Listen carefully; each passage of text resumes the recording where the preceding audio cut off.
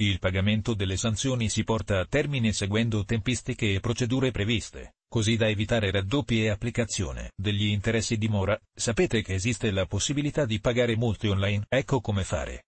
Pagare multa online. Le tempistiche. Nel caso in cui non presentiate ricorso e dovete pagare la sanzione, avete 60 giorni di tempo dalla notifica per essere in regola con i pagamenti, che diventano solo 5 per poter pagare il 30% in meno. Ma quali sono le modalità di pagamento multe? Oltre alle classiche alternative come recarvi di persona al comando della polizia municipale o fare la coda agli sportelli, Sappiate che esiste la possibilità di mettervi in regola anche telematicamente. In ogni caso, il nostro consiglio è quello di pagare il prima possibile onde evitare qualsiasi genere di problema. Ma come pagare una multa online? Ad esempio tramite home banking della vostra banca, da cui potete pagare anche il bollo auto. Ma non solo. Pagare multa online. Le modalità. Il pagamento delle multe online può avvenire in vari modi, e cioè, tramite home banking e bonifico bancario online tramite sito del comune, multa dalla polizia municipale tramite il sito di poste italiane, multa dai carabinieri o dalla polizia di Stato in ogni caso le procedure sono simili, cambiano solo le modalità, collegatevi al sito scelto,